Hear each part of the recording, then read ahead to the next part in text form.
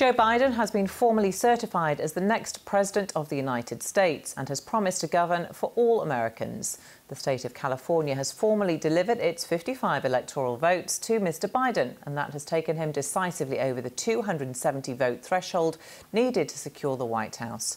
Russia's President Putin has finally congratulated Mr. Biden on his victory, saying he hopes their two countries can set aside their differences. Our North America correspondent David Willis reports for Joseph R. Biden of Delaware, a Democrat. Eyes 55, noes 0. The moment Joe Biden formally became this country's president elect, California's electors awarding him the votes he needed to clear the 270 threshold in America's Electoral College and having held off condemning Donald Trump's unprecedented attempts to overturn the election result, now was the time to hit back. The flame of democracy was lit in this nation a long time ago. And we now know nothing, not even a pandemic or an abuse of power, can extinguish that flame.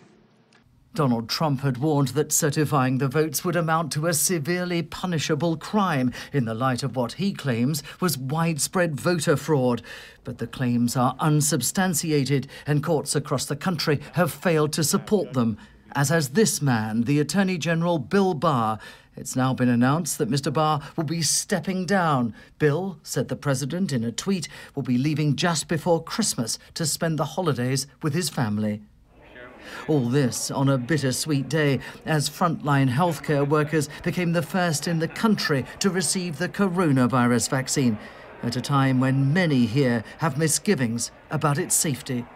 It's, it's, no different than the majority of vaccines that you get on a yearly basis that we give to our children that we've been getting since the 60s. And at the end of the day, when we're worried about side effects, really the truth is, is that everything has side effects. This has been shown to be safe, it's, it's effective, and really, it's the best route for us to combat this horrible pandemic. The vaccine is likely to prove a shot in the arm for the beleaguered American economy. Hence, they were punching the air when the New York Stock Exchange opened for trading. But the most ambitious vaccination program in US history couldn't come soon enough.